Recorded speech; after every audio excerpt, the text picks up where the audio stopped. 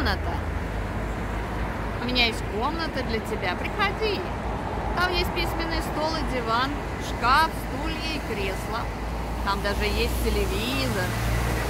Я могу сдать тебе эту комнату по сходной цене. Так ты будешь свободен и не обременен. И я буду свободна. И мы сможем видеться иногда, когда ты будешь приходить в свою комнату. Это почти что как общение в Фейсбуке или Скайпе, только в 3D.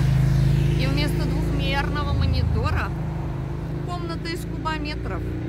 И вместо плоского и холодного изображения тебя теплый дышащий ты, которого не взять двумя пальцами, большим и указательным. А можно охватить лишь широко, раскрыв объятия и почувствовать биение твоего сердца, которое норовит синхронизироваться с моим, как все живое стремится к симбиозу и биоцинозу. А в твое отсутствие ты сможешь оставлять вместо себя большого мягкого мишку, сидеть в кресле в твоей комнате и смотреть на меня немигающим любящим глазом.